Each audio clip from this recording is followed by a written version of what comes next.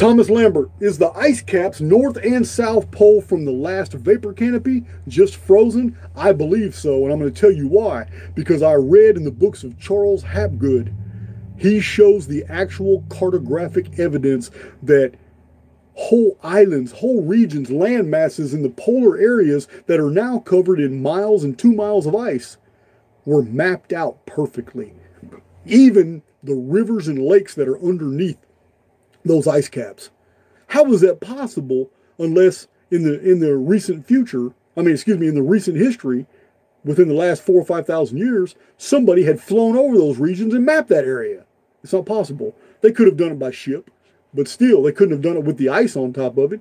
I believe those polar regions were caused by the collapse of the vapor canopy, and I believe that most of the vapor canopy moisture is in the north and south ice caps. And once now, Here's something else I believe too, and I've never mentioned this on any other channels because I don't want to open that door. I don't, I'm not doing videos about it because I can't cite sources. It's just a suspicion. There are a few times in history where things entered our world that we have absolutely no idea where they came from. One of them is the Voynich manuscript. So I have a suspicion that when the vapor canopy comes back, the barriers of ice that we have will be gone. Once they're gone, there's nothing stopping. I might hate saying this because it's going to open up so many doors.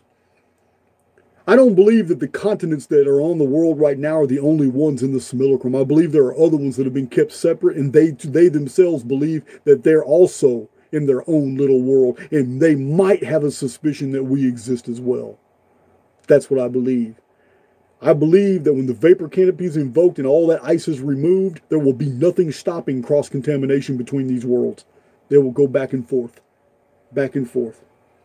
We may we may meet or come into contact with fleets of all new people who have been going through their own resets, their own mud floods, their own cataclysm uh, protocols, who've been going through their own AIX bullshit of the creation and generation of religions and cults and belief systems.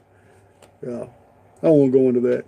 I can't because there's no there's no source materials by which I can I can derive that. All I can do is cite different areas in history where whole fleets of a new species of men appeared for which we have absolutely no archaeological hint of where they came from. Like the Sea Peoples Confederation appeared out of fucking nowhere and just obliterated civilization after civilization after civilization. It's crazy.